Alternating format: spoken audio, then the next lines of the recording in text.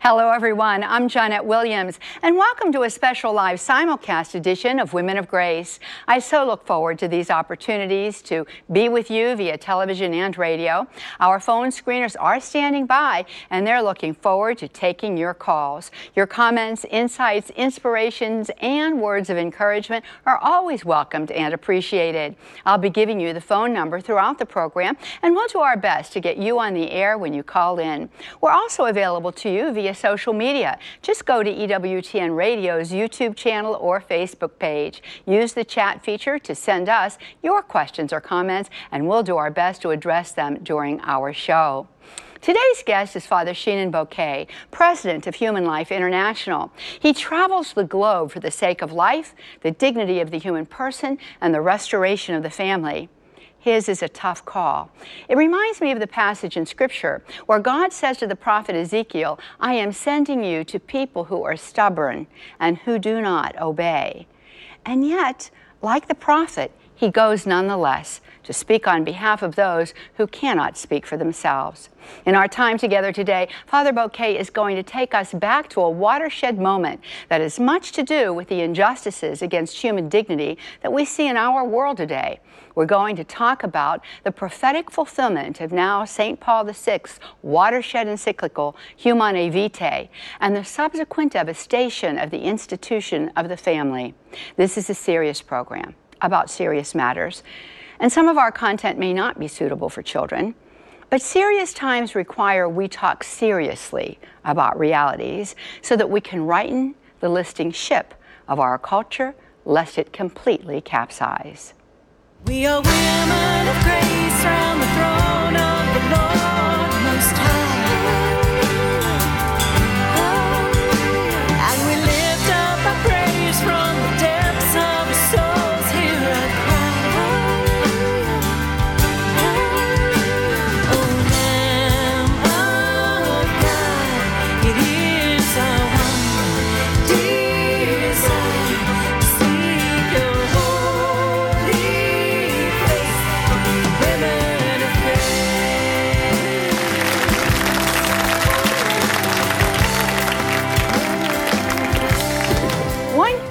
of Humanae Vitae, and you become convinced that St. Paul VI was a prophet. Though few appreciated his encyclical, Humanae Vitae, and even scoffed at it, the words he penned have proven true. In short order, marriage, family, and life were under attack. And as we have come to see, the devastation didn't stop there. Now, even the anthropology of the human person is under attack. Gender ideology has an icy grip upon the major institutions of our society and is attempting to deconstruct its perspective of the human person's reality at its most fundamental level.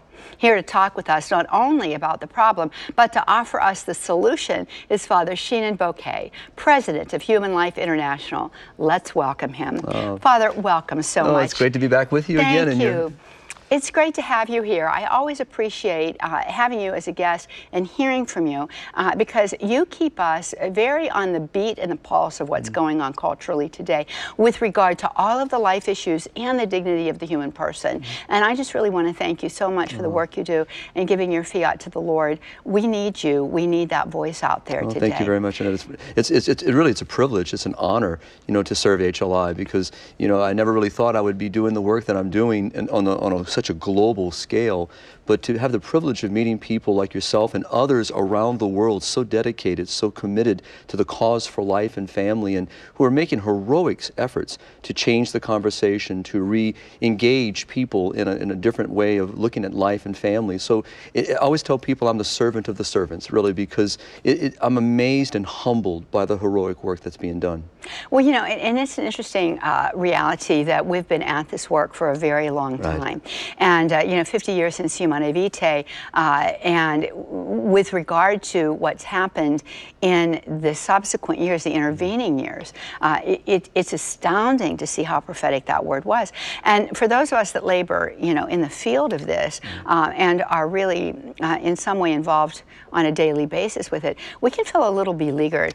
But I think that this is the time to, to, to really, you know, um, as, as it would say in sacred scripture, to gird our loins and go about the business, exactly, right? Mm-hmm. Exactly, exactly. And to be joyful. And I think that's the great lesson of Advent, really. It's a chance for us to really take a look at what gives us our, our strength and our courage. And of course, it's the Lord Jesus Christ and the gift of, of his life and his love and, and the opening of salvation to us. And so this is what gives us the strength to go forth and to burst into that conversation. But it is absolutely the truth. I mean, it's, it's a very difficult conversation as the world continues to digress into secular ways and definitions of life. We're preaching a very contrary message, which is not always welcomed and actually despised. And so, and also we see many losses, as we see many gains, and but we see many difficult moments from Ireland st- uh, struggle ah, recently to yes. the Philippines struggling, you know, to maintain its culture, and even in Latin America, which has been bastions of, of great places of Catholicism, and you're watching them collapse under this weight and this pressure, and it can be very discouraging to many people, and many people have fallen into the trap of despair, even to saying, you know, what's the point anymore? And but that, that's not the answer. The answer is, is as you said, you know, you know, put on the armor of Christ, get yourself ready, go out into that battle. And for me, it's always been the image of David facing Goliath, you know, and I and I like to add a little bit to the scripture. And the point being, it's like putting on armor every morning, and it's all all the chinks are out of it. You've you've polished it, you've hung it on the hook for the night. You get up the next morning, you put it back on, and you go right back into the battle, knowing that you're going to get it all dented again, and it's going to get tarnished again, and you come back unknown, take all the dents out, hang it back on the hook, and you get out the next day. But it's, it's a great spirit the saints teach us to be joyful servants and to trust that God is in the, in the midst of all of this work, no matter what we've faced. And I, and I think that's what Paul VI also understood as he said in the opening of Humanae Vitae that, you know, when many people wanted him to change and uh, to maybe accommodate more of a secular uh, understanding of marriage and, and of course, it's you know, human sexuality, but he said, no, I must stand in what has always been true and what always will be true. So his heroic stand gives us the reason to also be heroic. And I think that's important. I think it's very important. And of course, you know, there are certain things that are just immutable. Correct, exactly. You can't change them. No. And you can't change human nature. Correct. You can, you can uh, in some ways, you can, uh, you know, you, you can surgically do things. Um, but basically, what you're, you're doing is you're causing an affront to God, but right. you're also, uh, in a very serious way, affecting and damaging the human person at its core. And I want to talk a little bit about Humanae Vitae. You know, uh, 1968 was when it was promulgated, and it didn't take very long. And I'm, I have to say, Catholics jumped on the bandwagon as Right. much as the rest of the population did with regard to Right. contraception. And at that time, uh, you know, the uh, wholesale distribution, really, the beginning of that, of the birth control pill, which came around in 1960. It didn't take long. 1973 Right. was really a key year uh, that began to show the prophetic nature. I think of this encyclical. We had two very important events that happened then Roe v. Wade, Right. which legalized abortion, and the second was no fault marriage, which was Correct. the beginning of the destruction of the family institution. That's right. Yeah, all- these things, you know, obviously were floating, you know, uh, of course, many of them before Humanae Vitae and those that would come after it. But it, it all spoke of the same truth, and that was there was an affront being made against the dignity of marriage, the dignity of life, and people really were wanting to embrace, and I think it says something of our own nature, which is wounded. You know, because of the original sin, we're still wounded, and, and of course, because of our own personal sins, it complicates the whole matter. And if we're not cooperating with grace and, and participating, you know, in God's holy will, then we, we tend to move towards what's easy. We think the easy is the answer, and but really these are band-aids.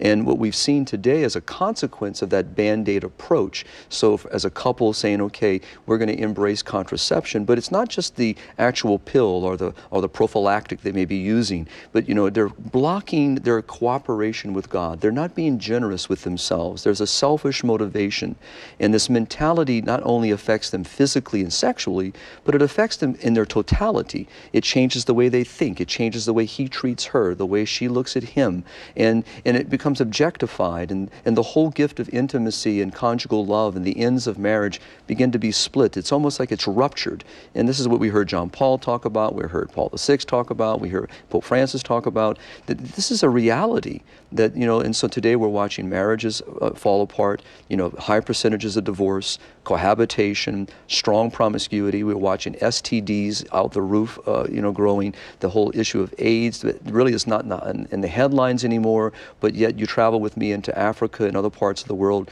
you see where it still has, uh, you know, endemic numbers. And it's, it's, it's really a challenge you know, to this secular mentality, which is really falling and, and failing, and it's it's producing nothing good, but yet they keep pushing it, you know, and, and, and I think that's the challenge for us as Catholics and Christians and those with a very different anthropology on the, on the human person. We have to reintroduce and that's what John Paul talked about in Evangelium Vitae, you know, in that very opening paragraphs, that we have to reteach people how to love, defend, respect, and serve life.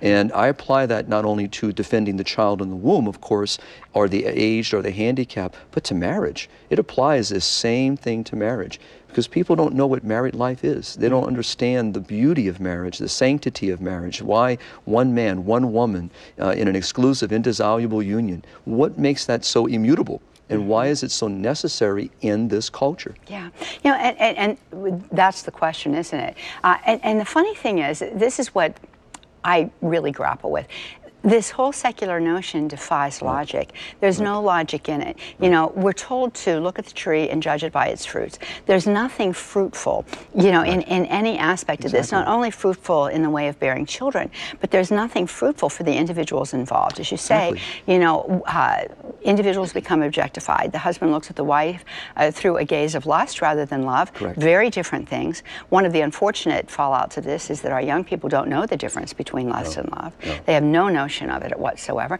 Uh, the wife often looks at her husband in the same way. Uh, but we also see the devastation that's been caused by disease. As you right. talk about the STDs, you talk about right. AIDS. Uh, but the answer to that is, well, let's just come up with something that right. we can fix this disease. Exactly. Let's not cure what's causing it, because that becomes a matter of human rights. Correct.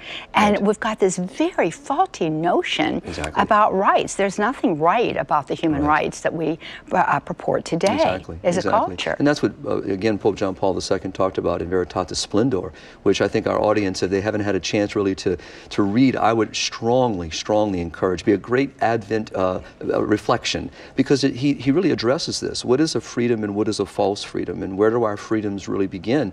And it really, our freedom originates in our own dignity. It starts in our own humanity, who we are, what we're made for. And so when we misunderstand that, then obviously all these other false freedoms begin to be seen as legitimate. And that's really the, the core of this.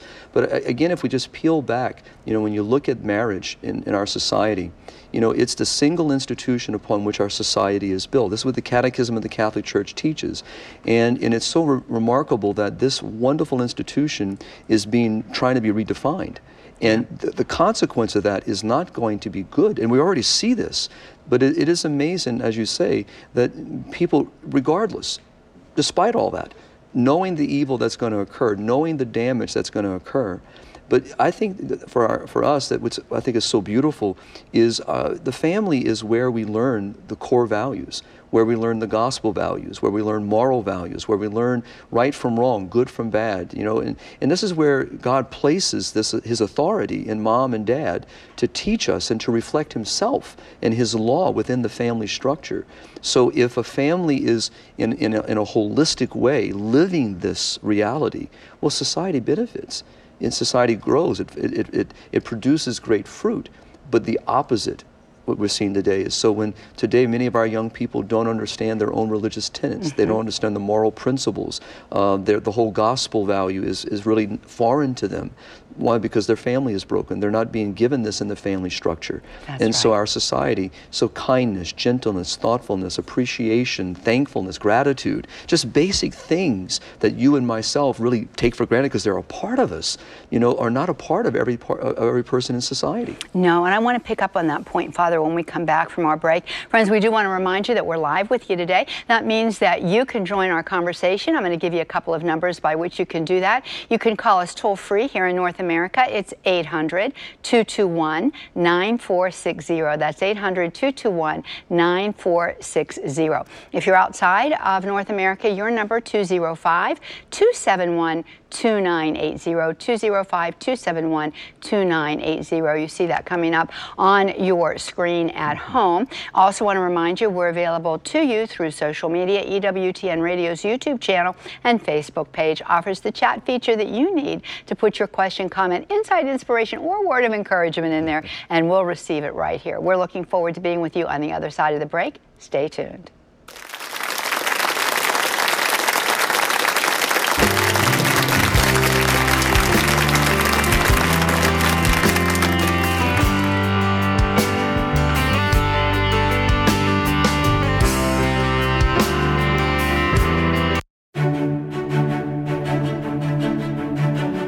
Hello, friends. I am happy to invite you to become a member of Women of Grace Exclusive. That's right, an exclusive membership. By becoming a Women of Grace exclusive member, you will have anytime, anywhere access to a vast library of resources, including our television programs, radio shows, and podcasts, our archived webinars by outstanding presenters, church documents and articles, and so much more. It's affordable, educational, and inspirational. With one click, more than 25 years of resources are yours on an exclusive basis. It's a membership program for such a time as this. Visit our website at www.womenofgrace.com for more information. Again, that's www.womenofgrace.com.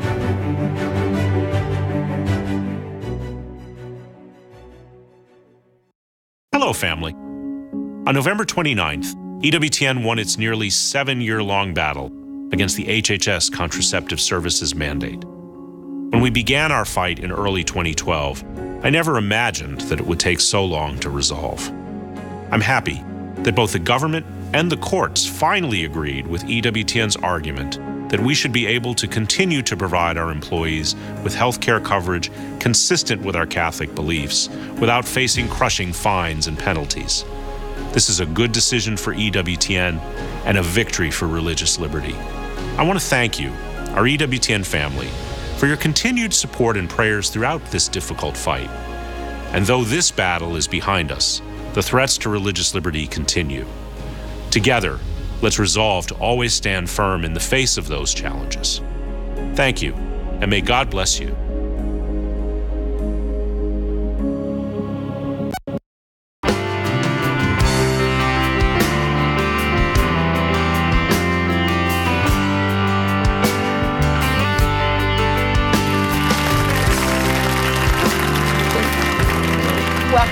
We're visiting with our guest today, Father Shenan Boquet. He is the president of Human Life International. We're so happy to have him on our program today, talking about very serious issues here. We have to speak about them frankly. Uh, so if you think that it's too sensitive a topic for your children, you might be aware of that. Uh, we cannot just hide these matters anymore. We've got to give voice to them in, in any way that we possibly can. Uh, inviting you to use the numbers that are there for you on the screen to join us today. We're looking forward to hearing your insights, your inspirations, your words of encouragement, and also your concerns as we move forward in our program. You know, Father, we went to the break and you were talking about the fact that the family is the place where children learn. They learn morality, their conscience is formed. Uh, you know, we hope that that's going on. Uh, that's the way that it's meant to be. And it occurs to me that socialization in its most basic areas takes place within the context right. of a family.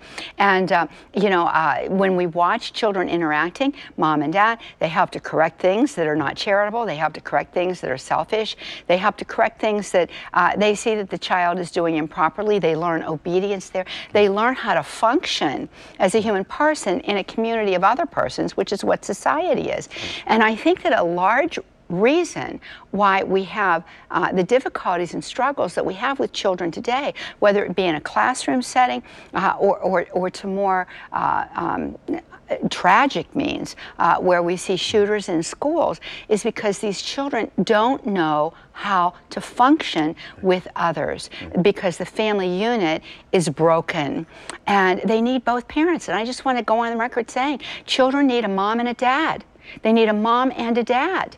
And when we deprive them for any reason, divorce or same sex marriage or whatever the case may be, we are doing a grave injustice that, to that child. And I have to say this it's, it's a form of child abuse, but it will hmm. not be recognized because of the ideology that's behind all of this. It's about an ideology, not because this is good or makes sense. Right. It's about, it's just about the forwarding of, of, of a perspective, point of view. I mean, in, in starting with the positive, it, it, it's very important for our audience to remember is, you know, the building blocks that we're talking about. And, you know, Pope Benedict talked about this in a reflection on the family that I've always used in my own presentations is where's the first hospital?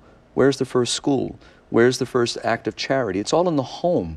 It's where the child learns these values, not only for the, for the child's sake, and for the family's sake, but as you said very beautifully, for society's sake. Mm-hmm. So, I mean, for example, if all of us in the United States decided to riot, there are not enough policemen and military in this country to take care of over 300 million people. You know, so what does the society base itself on? Law. It bases itself on us upholding the law, following the law. Well, the law of God is given to us in the same manner.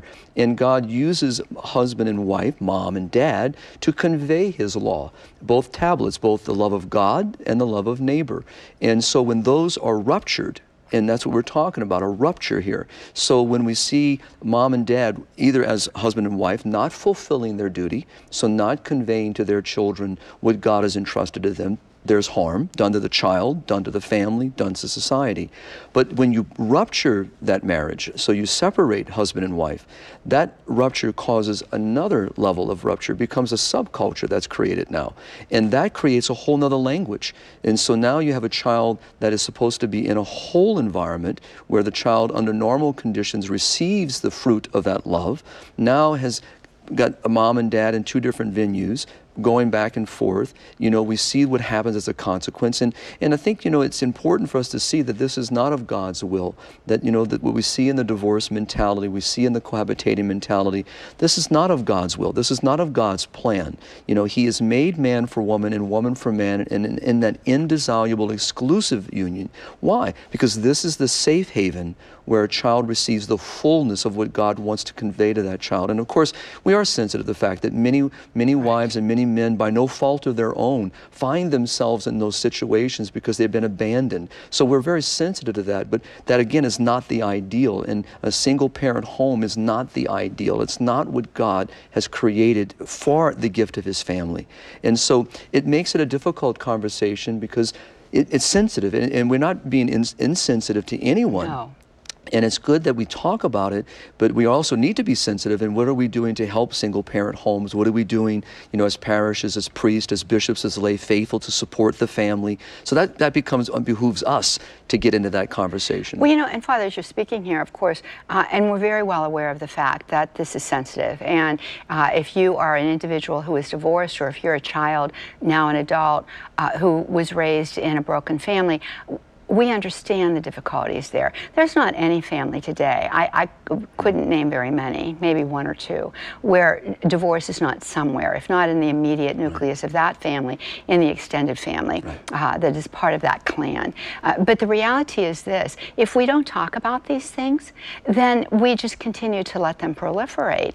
And I think it's fair to say that in addition to, you know, th- this whole notion of, of being there to help uh, families, you know, we need we need to be there to help struggling marriages. We have programs within the church, of course, Retrouvaille, et cetera, but but we need more than that. Uh, we need we need mentoring couples that will help individuals to make it through the rough times. Exactly. Uh, we need individuals who are willing to step into that gap, you know, and and to uh, sit down and have a very serious, frank conversation Exactly. with the one who is thinking of leaving. And if we spoke about this more, and may I say, Father, if this were spoken from the pulpit, we would at least encourage a couple that might be sitting in the pews that's struggling to dig a little deeper. Exactly. But today, a false sense of compassion leads us to uh, dare not to tread Right. on these delicate issues, and so things continue.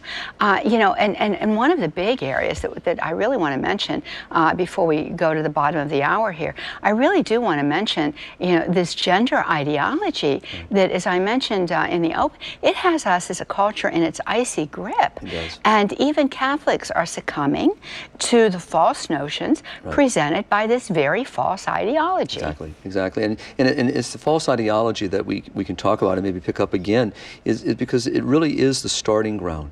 And we, we call it behavioral modification. And this is what's been going on in the sex education programs in the schools now for, for decades. And I think many parents are just unaware of what's happening around them in the secular environment of which their children are very much influenced. So just like recently we had two uh, drag queens giving, uh, you know, uh, uh, uh, story time in the library. libraries, yes, and, this know, is a big and- trend. And we're seeing this as something good when it's something that's not good, not good for children, but it's not even good for us as a culture.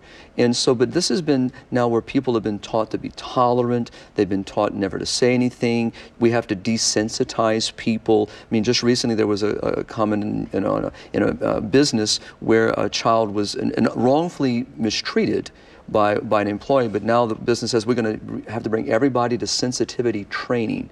So it's really about propagandizing. It's about trying to change how people think about man, about woman, about marriage, about human sexuality, about children. You know, this whole gender is, uh, even, you know, the Holy Father has been irate on this subject. I mean, very vividly irate, saying to children, they're, they're propagandizing our children, what he calls colonization, uh, ideological colonization, changing the way people think. Well, this is not something that's happened overnight. So this is what we're seeing is the fruit of many decades of intrusion into the language, how we vision life, family, human sexuality, male, female. So I'm not surprised how rapidly this gender theory and ideology is growing because the ground is ripe. It's, it compl- it's very ripe. And so people are very much caught in a disillusion. But that goes back to what we started talking about when we have a false anthropology, when we have a false understanding of who man is, who woman is. And even the Holy Father said, how dare they, you know, uh, not recognize that the, the biological nature of the person, man, woman, helps us identify us, who we are, and, and, and shapes our lives. And, and, to, and to deny that is not reality. No. It's delusion, and we live in deceit. Uh, one of the things that can, oh, and I just have to mention this. I'm sure that you've seen the pictures of Celine Dion's new line of clothing for have. children. I mean, it, it's frightening. I mean, it's frightening to look at. It's just frightening clothing. Right. And these little children look like they're, you know, that they're zombies. Uh, who wants their child to look like that? I can't figure. There's no joy in these Exactly. uh, little models' eyes, and I, that's intentional. Right. Uh, but who would want to put their children in things that um, look like uh, they be, they're part of a satanic coven? Exactly. You know, so it- Exactly. it's very upsetting uh, what they're doing there. And I want to give these numbers again, friends. You are welcome to join us here. Join in the conversation 800 221 9460. That is your number if you are in North America. 800 221 9460. It's toll free. Or if you're outside of North America, 205 271 2980. Don't forget, EWTN Radio social media Maven is there for you today, and he will get your questions up here. Just go to EWTN Radio's YouTube channel or Facebook page. You talk about this false anthropology. And this goes all the way back, I think, to Humanae Vitae. And this, I think, was the essence of what uh, Pope Paul was teaching us in this, is that you cannot begin to abuse the way in which the human person was created and the functionality of the human person and think that this is going to end well. Exactly. So if you begin with this notion that I am in control of my reproductive system and I can use it in any way I desire to, uh, then we discover that pretty soon the fruit is bad, it's rotten, and look where we've Exactly. come. Well, look here. at the example of, of, of the high percentage of pornography Mm-hmm. and how many people are addicted to pornography. I've been told, and I'm, I'm still trying to find the research on it, by very reputable people that I trust in, in, in helping me you know, do research when I write articles and columns. And I've been told that the satellites, the communication satellites that even EWTN relies upon, that over 50% is used to support the pornography industry. Mm-hmm. But that would make sense because I mean, look at look at the culture. Look at what how we treat sexuality, how we treat sex, and we and we we treat it as if it's a recreational sport. So we again we we've disconnected it from its proper place, its proper role, and the beauty that it is. And I think that sometimes we as Catholics are accused of you know being hard on, on subjects and not wanting to talk about them in a in a good light. But but we look at all this as something beautiful. Marriage is beautiful. Human sexuality is beautiful. And Yeah, and I just want to say, you know, uh, the church, far from being opposed to sex, is Far. the greatest uh, champion, you know, of, of that intimate We would- embrace we of husband and wife. We wouldn't be here. And we acknowledge its sacredness. And this is the beauty Exactly. of, of what we have. And so, friends, uh, when we come back from the break, more with our guest, Father Shenan Boquet. Want to give you those numbers again 800 221 9460. We're ready for you. 205 271 2980 if you're outside of North America. And remember again to use EWTN Radio's YouTube channel and Facebook page. We are looking forward to your questions, comments, insights, and inspirations. Thank you for being with us. Stay with us through the break. We're going to be right back.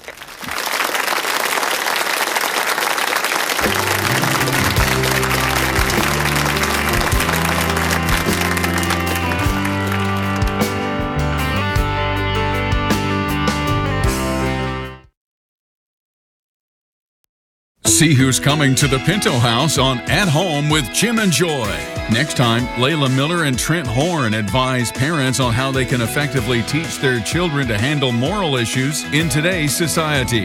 At Home with Jim and Joy, here on the Global Catholic Network, EWTN. St. John Vianney's priesthood changed the world. Now, the heart of this priest will bless our nation. Join the faithful of Washington, D.C. to honor the patron saint of parish priests and pray for our nation's clergy and healing for our church. EWTN takes you to the Basilica of the National Shrine of the Immaculate Conception for the solemn Mass and veneration of the incorrupt heart of St. John Vianney, Sunday at noon Eastern, here on EWTN.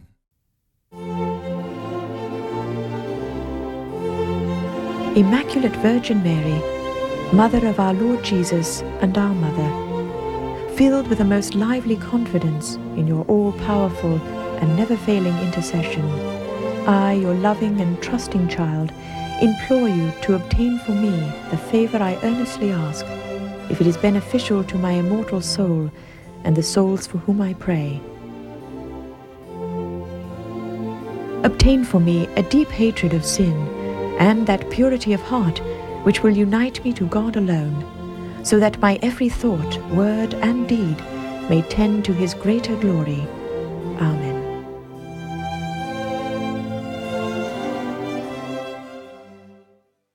With deepest humility, I adore you, my Lord and my God.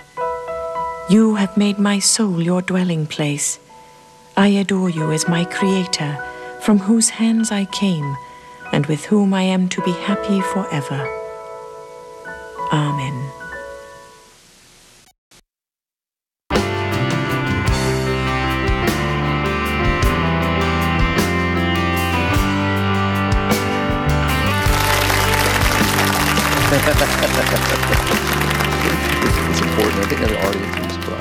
Welcome back, friends. We're visiting with our guest, Father Shenan Boquet, and we're talking about some tough issues today. I mean, we're really facing the reality of what's happened in our society with the collapse of, of marriage, the family institutions breakdown, uh, this gender ideology that seems to hold sway over all of our institutions, and we have to say enterprises as well.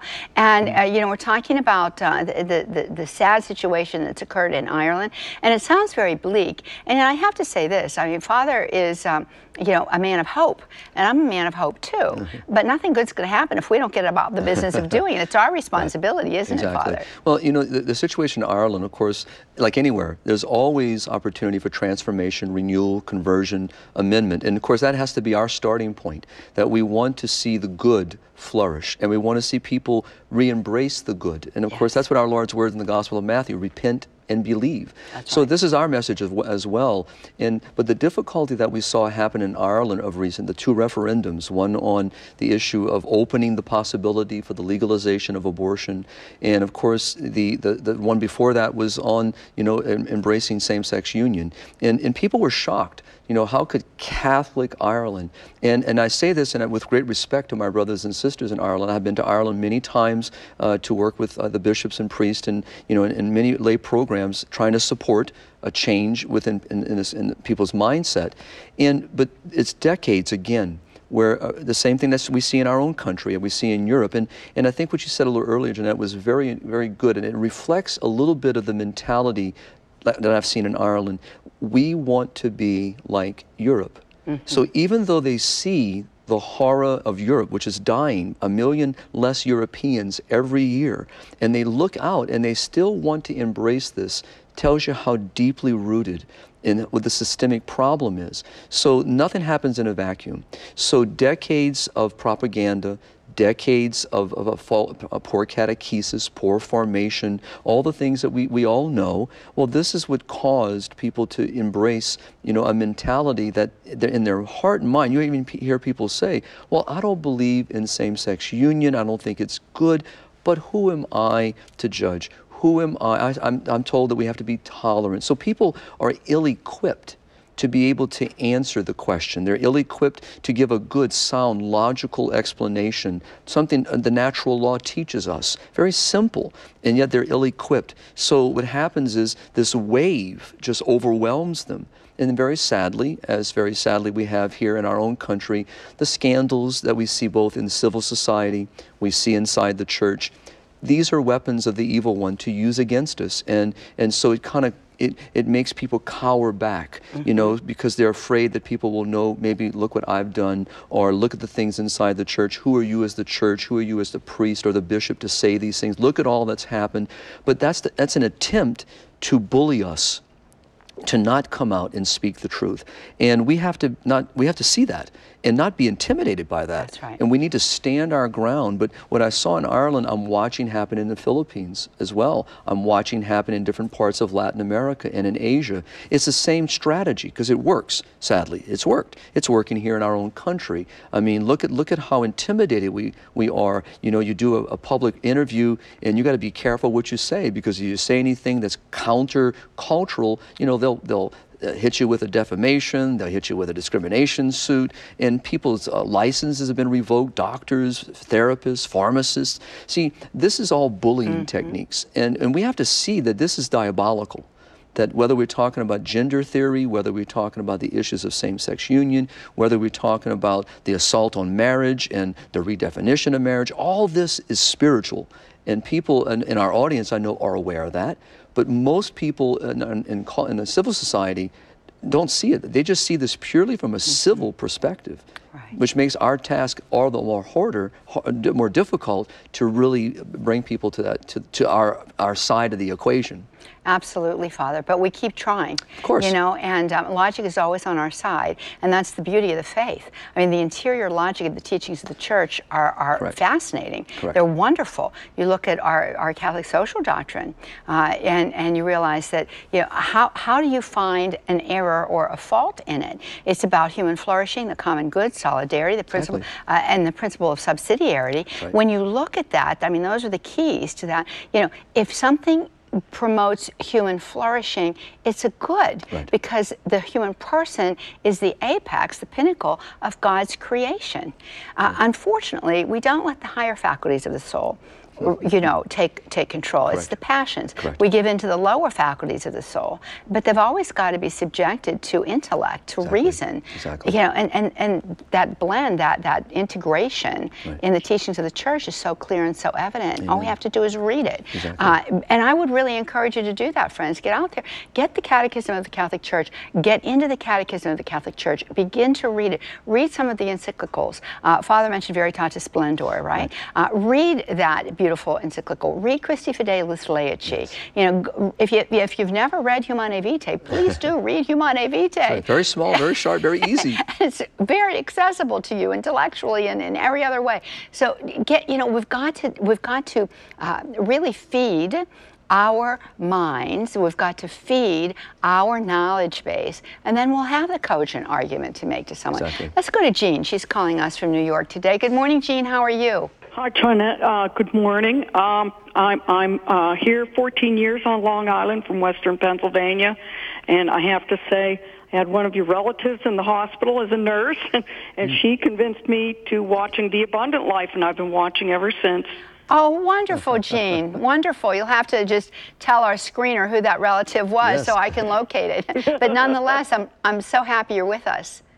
Thank you. I'm happy uh, that we have you as well. And uh, uh, my concern is, uh, you know, I hope someday that maybe EWTN makes a movie, something like on, on Ma- Margaret Sanger, like the uh, one uh, Wolf in Sheep's Clothing, which relates to my question is, you know, how do we brainstorm uh, w- and come up with ideas on how to defund Planned Parenthood once and for all and take away good hard-earned taxpayer money from going toward a really very bad cause?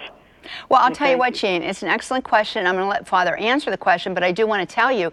EWTN does have a docudrama on Margaret Sanger, uh, several as a matter of fact. So I would invite you to get out there to EWTN's religious catalog, EWTNRC.com. There's enough for everybody to get a copy of what's there.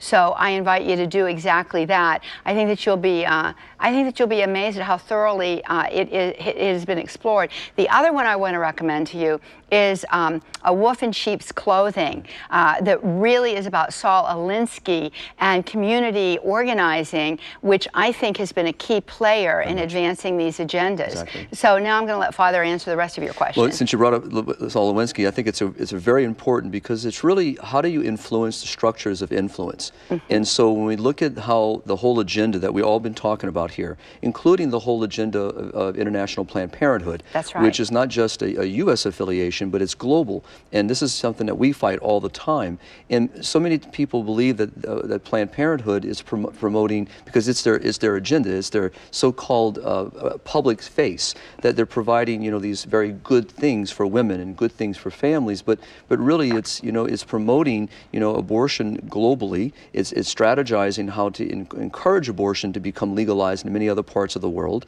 And so how does it work? Well, it influences the structures of influence. So what I mean by that is government, NGOs, United Nations, for example, uh, working in judicial system, social media.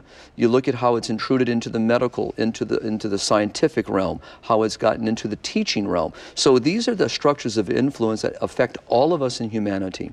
So governmental policies, you know, if we look at the foundations, for example, many of them used to be very good foundations, working in very admirable, you know, charities and, and accomplishments. But today, most of them, especially the ones at the Ford Foundation, the, the Soros Foundation, the Melinda and Bill Gates Foundation, you know, and so many others are so now engaged in dabbling, not just dabbling, engaged in population control. because right. people don't know what this is. So my suggestion to Jean and to all of us is we have to become self-educated. So not only know what about Saul Alinsky, what did what did he promote? What was the agenda? Who is Margaret Sanger? What is she all about? What was her her issue of eugenics? And I think that's, the, key base here. Planned the- Parenthood. exactly. People don't understand it, but where are your Planned Parenthood clinics? Exactly. They're in black communities and Hispanic communities. right. And where do they go in the world? To those very same communities. right. In some of the poorest parts of the world, I mean, here in the States, we know that the highest percentage of abortions are among the black population. Hispanic is second in this country. And most people, and I give an example, I gave a presentation in one of these communities of re, uh, recently, about a couple of years ago, excuse me, and the, the local Baptist pastors that were part of this meeting of clergy were, were irate when they learned of what was happening in the neighborhood. So many people don't realize what Planned Parenthood is and does. And so this is part of the education, the formation. And I think that we owe a lot of uh, uh, uh, commendable work to the people in the pro-life movement who've been exposing, you know, Planned Parenthood and exposing all of the evil that happens. And I think we need more of that. And we have to continue to infiltrate uh, because that's what they do. That's what they've done into all of the things I'm talking about in the structures of influence. Now, for us, as, as Catholics, what are the structures of influence that we do? Well, we start with our families, is what we started the program on. And That's we right. tell in our family is where we have to teach. Father Marx used to say that contracepting parents produce fornicating children. Oh my gracious, Now that's, that's a, a very statement, it? So I apologize to our audience for a little more bluntness. No, but I'm very happy. It's it's an important thing because think of this: this mentality is passed on to the children. That's right. Because if the parents become selfish and self-centered, what do the children learn? So this is how people like Margaret Sanger and Marie Stopes International, Marie Stopes in, in, in, in the UK, how they were able to bring this message. It's discriminatory, it's very much racial involved, and people just need to open their eyes. Margaret Sanger is not a saint. No. And, and I think that this, many people are trying to promote her as some saintly entity that, that has done well for women. Read what this woman has said, and you'll realize that she's not. Well, and, and this is the irony. Um, there is nothing, absolutely nothing, that is uh, helpful for women in this anti life establishment. Right. It is misogynist at its Yes, core. exactly. It tries to take the very fundamental reality of the female person and destroy it. Exactly. Uh, and, and we just we, we continue to think, well, it's it's a right. It's not a right. It's not your reproductive system. You did not create it. exactly. the fact of the matter is, the church does provide means to space children, and it Exactly. is more effective than the pill, far safer, and the rate of divorce is far lower Exactly. in families that use natural family and we need to teach it. We're not teaching this, unfortunately. What you mentioned earlier, but you know, from the pulpit in our in our parishes, in our dioceses, you know, we need to see natural family plan and regulation being taught and and helping couples to understand. But it's interesting, you know, uh, uh, when teaching this, I told a young man who said, you know, I don't see anything wrong with uh, my wife and I using contraception. So I said, what you're saying to your wife is this, darling, I love you, everything about you, but your fertility. Now- Everything's good about you except the fact that you can bear children. exactly. My children. That's right, exactly. So I mean that that's the mentality, Mm-hmm. and and the whole understanding of of, of of of the beauty of self-giving and self-donating is thrown out the window. But Mm-hmm. again, this is the culture that's been created. Yeah, don't want to do this, but we've got to go to another break. So, friends, we're going to go to a break. When we come back, more with our guest today, Father Shenan Boquet. We're here to take your calls, to take your questions, and just give us a ring. We're going to be right back. Stay tuned.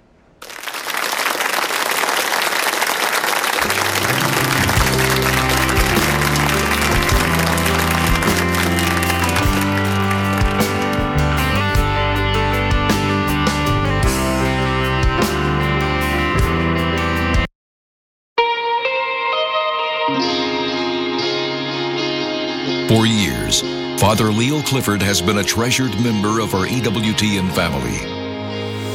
Even though we have never met, I know something very personal about you who are listening to me. You are desperately searching for peace. His simple yet profound messages touch every aspect of Catholic life. That you and I must believe in faith that God is madly in love with us at every moment of the day and night, with a love that never wavers, never wanes. Now, E EWTN Publishing brings you all these treasure teachings together in one volume. Reflections with Father Leo Clifford. Father Leo has helped countless souls grow closer to Christ. Now he can help you too. Reflections with Father Leo Clifford. The latest release from EWTN Publishing. Now available at EWTNRC.com.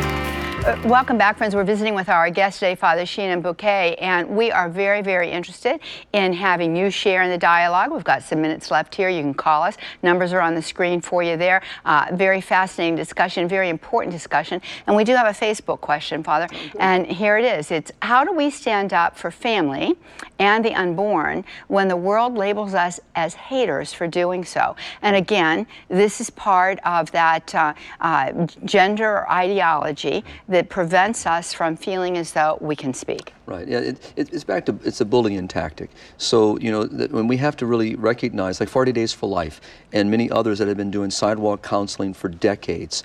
You know, which is commendable, and we need more people out there.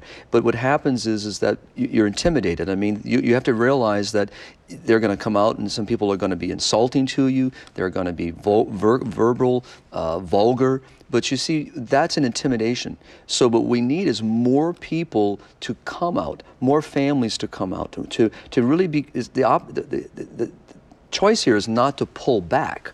The choice is to go forward. You know, you don't run away from the fight, you run toward the fight. And I think, but we need more people to do this. And, and so the question is a very good question because what I see is people cowering, not because they're cowards and not because they're frightened, but because of the same thing. They're worried about am, am I going to be sued? Am I going to get a discrimination uh, uh, uh, fine attached to me? Am I going to have to pay some enormous fine? Are my kids going to get kicked out of school? Which are all legitimate questions. Right. And this is where again we also we we need to pull together. We need to pull resources together. So what I try to encourage people to do is build networks. So for example, 40 Days ha- already has a very established program which is working remarkable all over the world. I'd encourage people to get more involved in this. But there are also others similar to it throughout the year. And so it's to not just do it during certain periods of Lent and Right. Advent, but to really go out throughout the year, but to be trained, to be formed. You don't want to go out there without uh, being properly formed because you can set yourself up for difficulty. And if you go as groups, and so what I've encouraged, for example, when I was back in the parish and back in, in, in diocese, you know, we would try to build, you know, particular weekends. And, and, and so we're all going out. I'm going out. You can come with me. So you, you use people who already are involved kind of as your shield. That's true. And that's, that's an excellent strategy, Father. And I just want to say to you, my dear, that here, here's one thing to consider. You know, our Lord was ridiculed. He was mocked. He was, uh, he was, he was mistreated. He was misunderstood. Uh, people hurled accusations at him all of the time. Just read sacred scripture. If you take those assaults that might happen to you if you speak out and attach them to his suffering, you become a conduit of that redemptive grace in that very situation. And it might bring a power, no, it will bring a power uh, and an effectiveness that would not have been there without that. So actually, it's a great moment because you are willing to stand there in the presence of our Lord and in his name. Uh, and goodness sakes, what could be better than that? We have Melissa with us, and she's calling us from New York, Father. Good morning, Melissa. How are you? Morning. I'm very well. How are you? Dandy, thanks for asking. I have a question. I'm a faith formation uh, teacher. I teach 10th grade, and I've been teaching um, these groups since uh, they were in first grade. Um, But I have not found um, any curriculum whatsoever that really teaches theology of the body um, to these kids because they're being ca- they're being educated in the schools on secular sex ed. They're being filled, you know, at the school in terms of Well, Melissa, may I, may I just say they're being propagandized and indoctrinated with a very false ideology. Uh, and I want you to answer that, Father. We've got about three minutes left in the program. And, and I want to just uh, state that I was recently in uh, Canada and had a mom come up and talk with me, Melissa, about, uh, you know, a similar issue. What can we do to kind of uh, uh, gain back uh, the the truth for our children. And she was telling me that in Canada, age five, they're talking about sexual acts that I could not even mention on the air here. Yeah, so they're teaching children are, this. and, and it's a global and it's a global issue. What I would say to Melissa, first of all, is as a teacher, which I, I want to thank you for what you're doing as a catechist, is you yourself just need to become self-informed. You know, be aware of what the church teaches, read the, documents and, and the teaching of the theology of the body, read uh, these wonderful uh, catechetical texts and bring those into the classroom. That's that's the way to supplement the, what's not out there. And she's right. There are very few catechetical texts that have thus far integrated that teaching, which is a tragedy. There are some good ones out there, but they're not enough. But we uh, but when it comes to the propagandizing, I think in Guatemala, for example, you know, we sh- exposed a program in the public system where they're teaching five and six year old girls and boys how to use a condom how to use the various and, and, to, and to experiment. So, for what I would say to our parents who are listening, to anyone listening, is be on guard that understand that inside our school systems, from as very early as kindergarten, they are being propagandized. We call it systematic behavioral modification. So if mom and dad are teaching you a value, a good value, a moral value, gospel value, the school is unraveling that. Mm-hmm. So you have to become aware and the unfortunate reality is, Father, the school has the children for more hours out of the day they than do. the parent does. Melissa has those children for perhaps Very one hour window. a week. Uh, so, friends, we've got our work to do, don't we? But we are not going to allow ourselves to be sidelined. We are not going to allow ourselves to be silenced. We are going to move forward because truth is on our side. And we're going to put on that armor of God that Father talked about. And we're going to get out into the fray and we're not going to retreat. We're going to run into the battle. And we are going to reclaim everything that's been lost in this culture, and we're going to preserve and protect that which is still God honoring. I hope, I hope that is what you desire to do. Father, how great to have you with us. Thank you very much, Thank and I hope so to be back again soon. Oh, you will be indeed. and friends, we are so happy you're with us. We invite you to join us Monday through Friday right here on Women of Grace. Until we are together again, may God richly bless you. Bye bye now.